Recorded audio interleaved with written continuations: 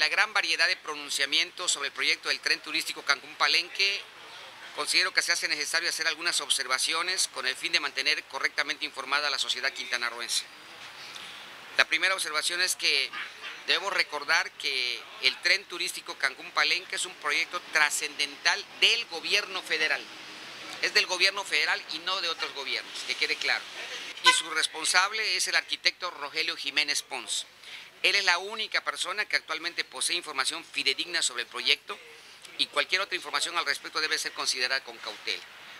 Debemos recordar que este proyecto fue desarrollado cuando se estuvo elaborando el proyecto de Nación 2018.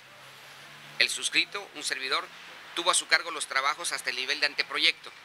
Y cuando ya fui nombrado candidato al Senado, la responsabilidad del proyecto quedó en manos del arquitecto Jiménez Pons. Una tercera observación muy importante es que no debe perderse de vista que el objetivo general del proyecto es impulsar el desarrollo económico y social del sur de la península de Yucatán.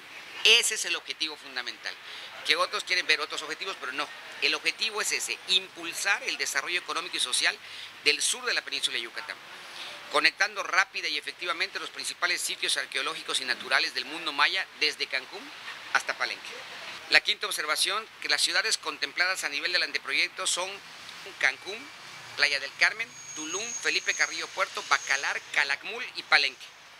Los estudios que ahora se realizan definirán con mayor precisión otros puntos estratégicos de la ruta que seguramente aumentarán la recuperación económica del proyecto y el beneficio a la sociedad. El tema es diferente, ya se puede involucrar ampliando el derecho de vía actual, se puede ampliar o aprovechar el que se tiene al máximo y si es necesario ampliar, involucrar ya a los propietarios, que son muchos ejidos en esa zona, para que sean partícipes del proyecto, pero involucrándolos como partes que van a ser también eh, eh, partícipes del beneficio del proyecto, involucrarlos en una sociedad que constituye al gobierno directamente también con ellos para que ellos sean permanentemente beneficiarios del proyecto.